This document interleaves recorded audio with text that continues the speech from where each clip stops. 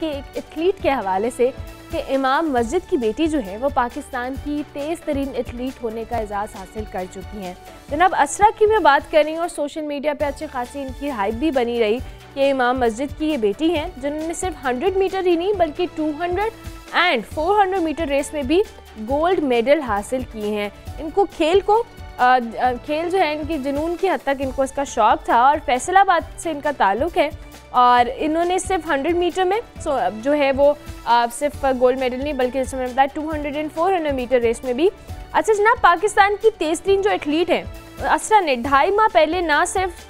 जो है ये अपना इस जुनून को बहुत जो अच्छे तरीके से परसू भी किया और इसकी जो हाइप मैं आपको बता रही हूँ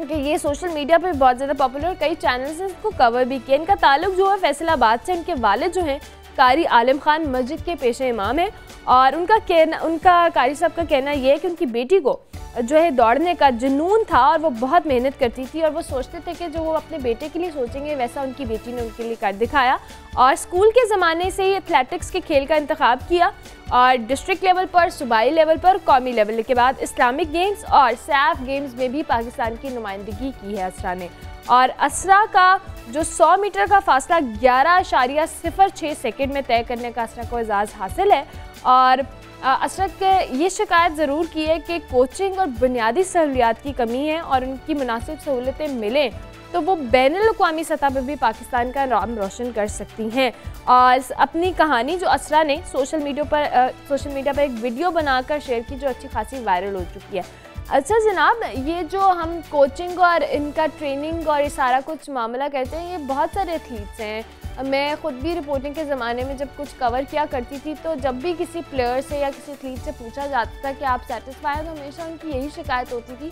कि हमें प्रॉपर कोचिंग या फैसिलिटीज़ नहीं मिलती। अगर हमें प्रॉपर सहूलियात फराहम की जाएँ तो बहुत सारे लेवल पर वो जाकर इंटरनेशनल लेवल पर भी वो पाकिस्तान को रिप्रेजेंट कर सकते हैं। इवन हॉकी फेडरेशन के चंद लोग उस दिन हमारे पास आए उन्होंने यही कहा जनाब काम होता है, लेकिन बजट्स नहीं है। बच्चे अगर ट्रेवल करते हैं, अपने खर्चे पे समटाइम्स करते हैं फेडरेशन अपने तौर पर फंड्स इकट्ठे करती है। तो मेरे ख्याल से ये जो स्पोर्ट्स है, ये भी एक बहुत वास्ट फ़ील्ड है और हम हर फ़ील्ड में अब डेफिनेटली गवर्नमेंट से स्टेट से यही कहते हैं आप इस पर काम करें, इस पर काम करें। लेकिन टाइम के साथ साथ मेरे ख्याल से बहुत सारी चीज़ों में रिफॉर्म्स की ज़रूरत है। जिस तरह असरा हैं, इस तरह की कई बच्चियाँ होंगी जो अपने